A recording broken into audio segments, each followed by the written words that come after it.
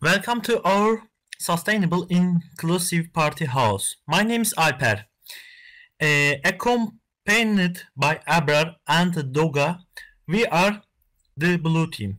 Tall Ninja and I will uh, be you uh, host today. Shall we start with the presentation? Then I will follow with the tour. This area uh, represents sustainable cities and communities.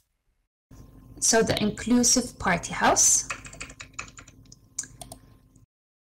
So the introduction really quickly. So the Party House project interlinks with Sustainable Development Goal SDG uh, number 11. Uh, so it is represented by the blue team here. Um, we forgot to mention White Eye, sorry White Eye. So he's with us in the team. Uh, so uh, briefly, really quickly, that this uh, project aims to create cities that are inclusive, safe, resilient, and sustainable. So the SDG 11 aims to making the cities and human settlements inclusive, safe, um, and sustainable.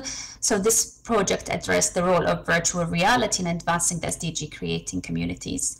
So um, so the significance of this party house is that it's for fostering awareness for sustainable practices where it welcomes all uh, community members, encourage the users to adapt to similar practices in the real world, and um, looking into the energy, energy efficiency, uh, we did use uh, in the party house some solar panels as energy saving strategies that mimic the real world technologies. We did use some uh, windmills and uh, we we did try to grow our own food in the rooftop of the project that would help into uh, creating more sustainable um, food uh, within the community.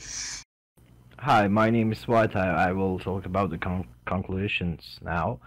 Uh, the the virtual environment hold immense potential to revolutionize the field of the sustainable architecture.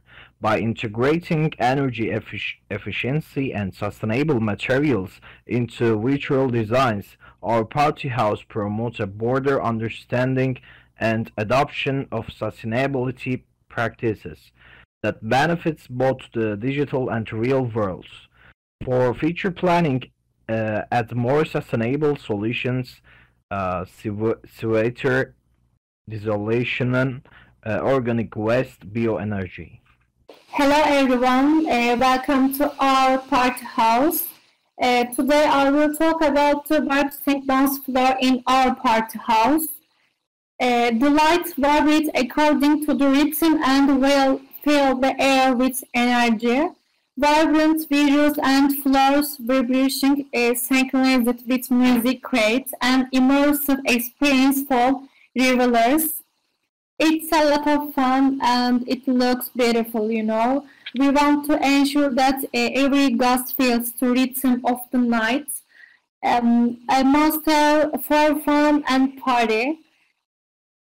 Um, it provides a much different and colorful atmosphere to the environment. And this is a very fun and foundational place and uh, it's for them to live here without having a lot of fun. Thank you very much. That's the end of our presentation.